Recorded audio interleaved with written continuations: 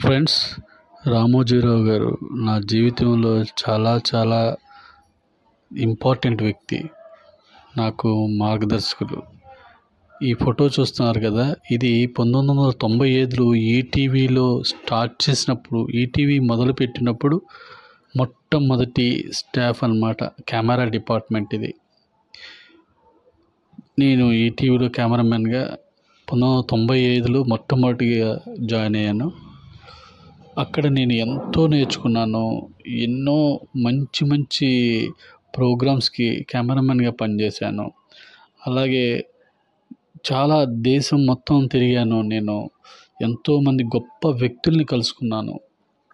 ఇలాంటి అవకాశం అంతా కూడా నాకు రామోజీరావు గారి సంస్థలో పనిచేయడం వల్ల కలిగింది.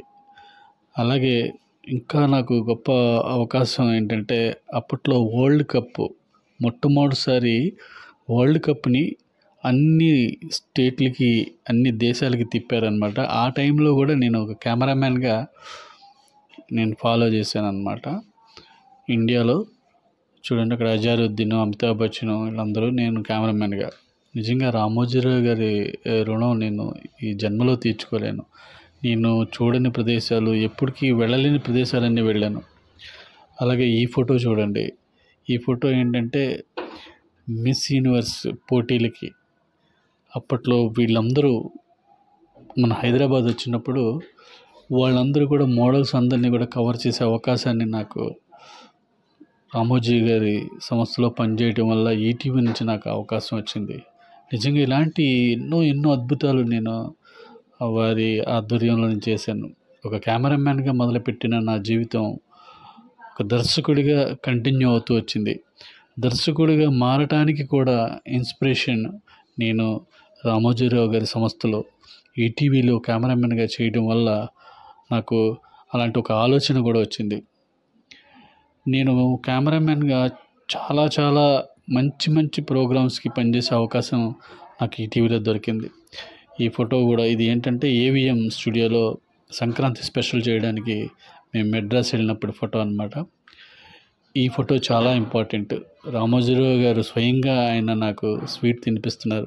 సందర్భం ఏమిటంటే మొట్టమొదటిసారి జిల్లా ఎడిషన్స్ ఓపెన్ చేసే సందర్భంగా కవరేజ్కి నేను వెళ్ళాను. అంటే ఈనాడు జిల్లా ఎడిషన్స్ అప్పుడే ఓపెన్ చేశారన్నమాట. నిజంగా ఎంత అదృష్టం చూడండి ఆయన చేతుల మీదుగా నేను స్వీట్ తీసుకోవడం. అలాగే తర్వాత రోజుల్లో నా నేను ఎంత ఎక్కువ చేశానంటే మూడు సార్లు నంది అవార్డులు తీసుకున్నాను. రెండు చిత్రాలకు దర్శకుడిగా పనిచేశాను. నాయుడు గారు రామానాయుడు గారి చేతుల మీదుగా కూడా నేను నంది అవార్డులు తీసుకుంటున్నాను.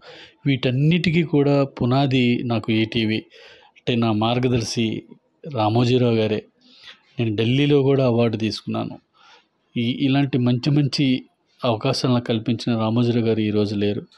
నిజంగా ఆయన మృతి పట్ల నాకు చాలా బాధ. ఆయన చనిపోయారనే విషయం తెలిసినప్పుడు చాలా బాధేసింది. ఆయన ఆత్మకు శాంతి కలగాలి. నాలాంటి వాళ్ళని ఎన్నో కొన్ని వేల మందిని ఆయన తయారు చేశారు.